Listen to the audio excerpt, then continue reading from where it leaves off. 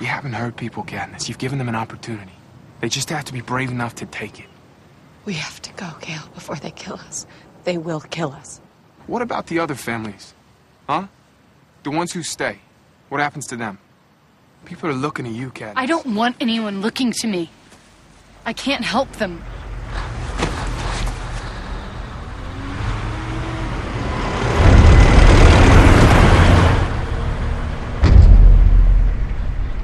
You do what you want.